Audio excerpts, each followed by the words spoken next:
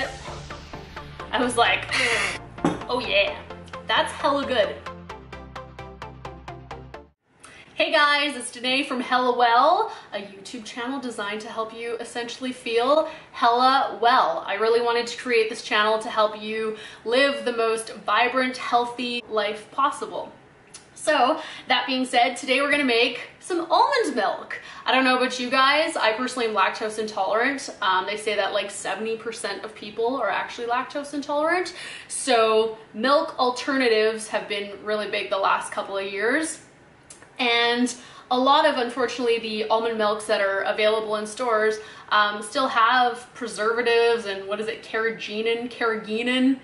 If you can't pronounce it, you probably shouldn't be eating it and consuming it. In my opinion, just make it yourself. That way you know exactly what's going into whatever it is you're consuming.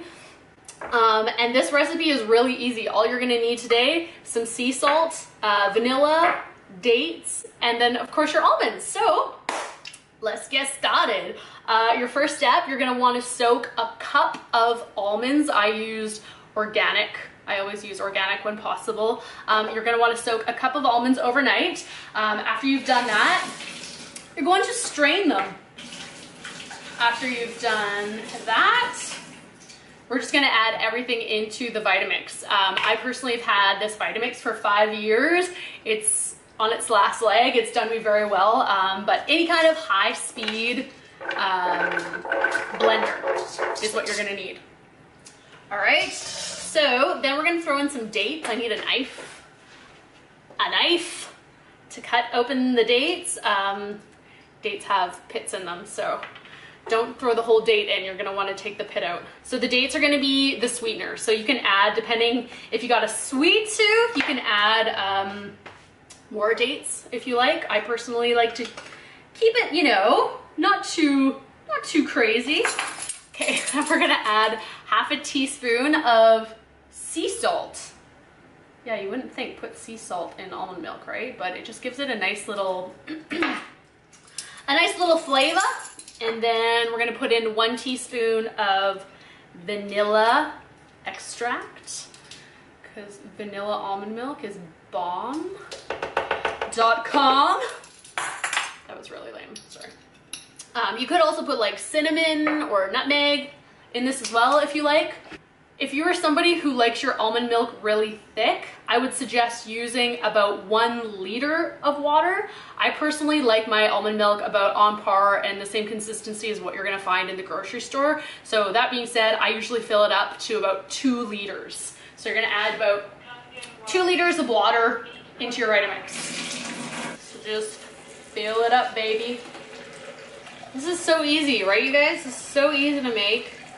I'm not gonna do quite two liters because I find if you fill it to the top of the Vitamix, then when you blend it, it starts to uh, overflow like a volcano. Okay, I need my clock. We're gonna time this. You're now gonna wanna blend this on high for two minutes, all right?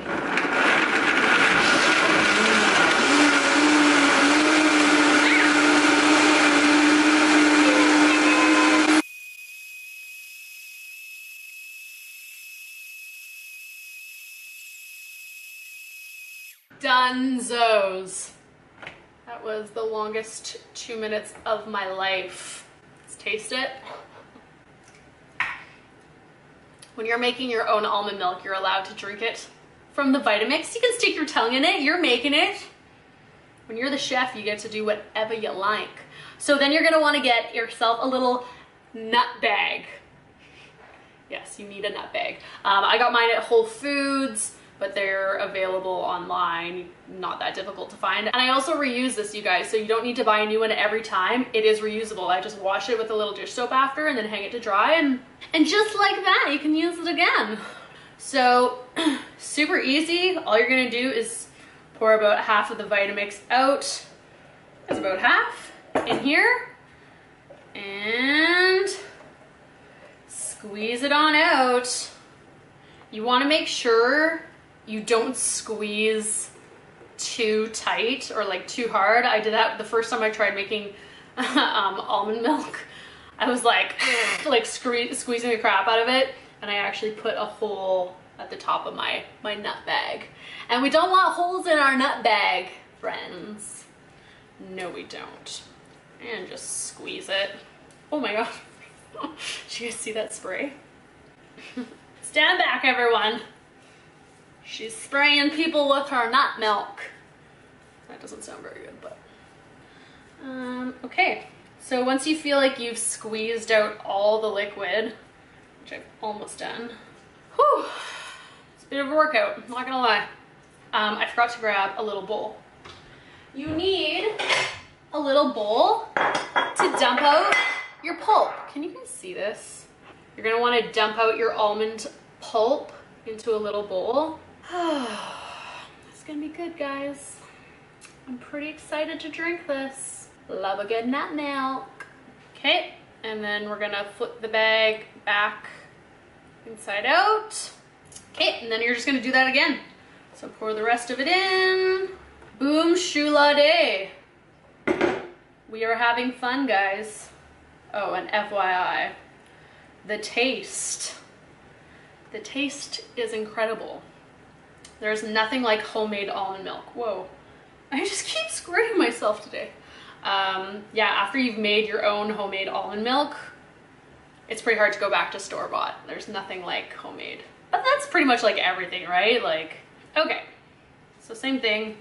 Got all the liquids out. Uh, uh, uh, give it a good shake. Okay, so after that, you're just gonna pour it back into your Vitamix. Mmm, delicioso. And then grab yourself a clean mason jar and just, I poured it back in the Vitamix by the way because it's got a spout and it's just easier to pour. Pour it on into your mason jar. That was so easy, right? That's pretty easy, guys. And there you go. You got your own homemade almond milk that, yes, you can drink from the jar.